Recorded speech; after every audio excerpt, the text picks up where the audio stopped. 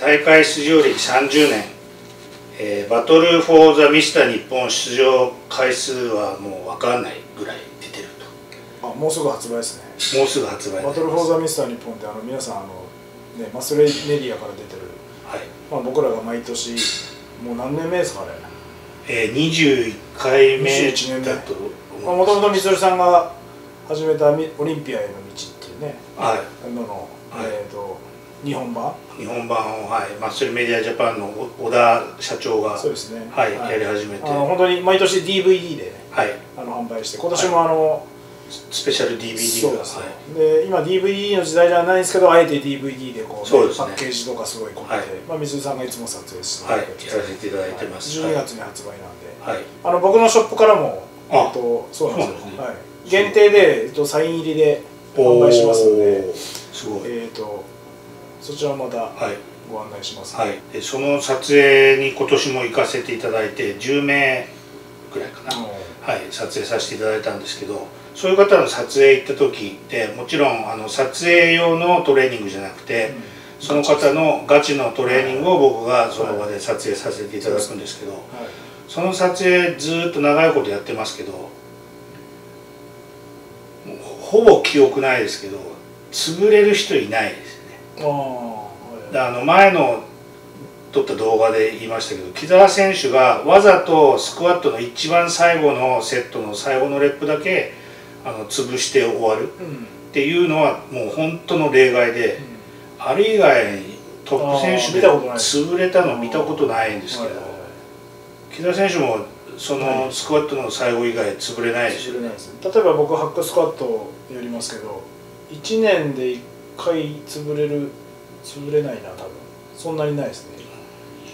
なんか前の腰がギグって言った時。そういうのはアクシデントですじ事故です。ね事故。はい。なんで潰れないかって分かりますみんな。分かんないです。できない時は絶対行かないですよね。でできる時ははい。行くんですけど確実にできるって分かっててもはい。多分みんな最後ギリギリ上がってくると思うんですよね。はい。これあの本能的にネガティブとかボトムの切り返しをはい。ギリギリ上げるように調整してです。おめちゃめちゃすごいテクニックですよこれ。でやっとこう上げてくれる最後の1レップを自ら作ってるんですよ要はイメージとして8回やりますと。あはい。で、えー、8.8回ぐらいできる時あるじゃないですか。はいはい。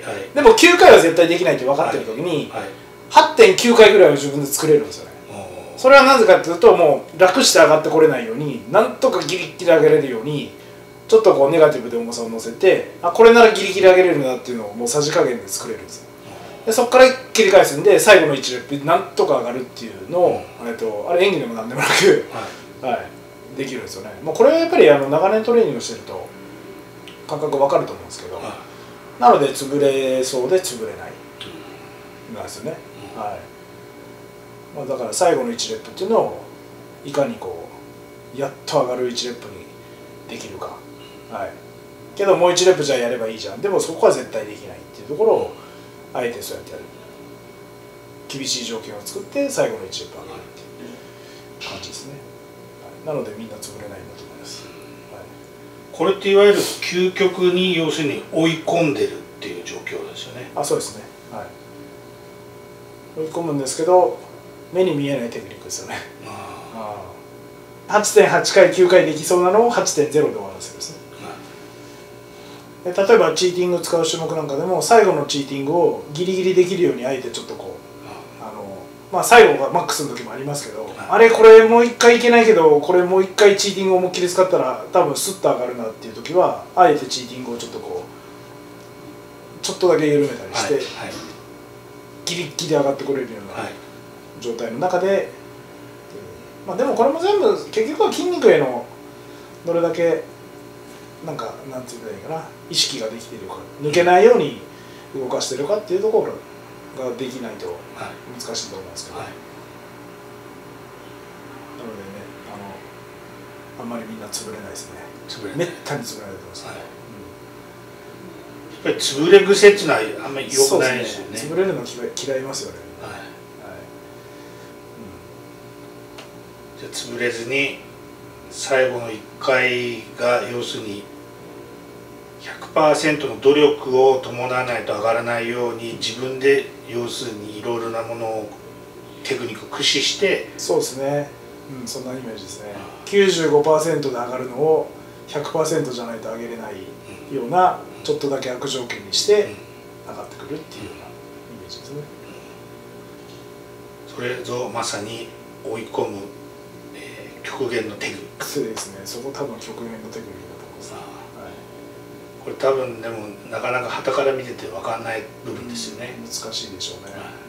多分何言ってるか分かんないかもしれないですけど。あ。まあ、そんな感じではい。みんなやってると思いはい。ます、じゃあそういうところも合わせて、えーミスター日本への道を見ていたそうですねだけたらと、えーまあ、これ見てる方は僕のできたらサイン入りをはい。ゲットしてください、はい。あの本当に10枚ぐらいしか売らないんで。あよかったらはい早物勝ちです。そうですね、はい。あのジュラシックギアの方の、えー、と公式 LINE は登録してもらうといはい。すぐにご案内ができますので、はい。それが一番早いです、はい。ありがとうございまありがとうございすました。I earned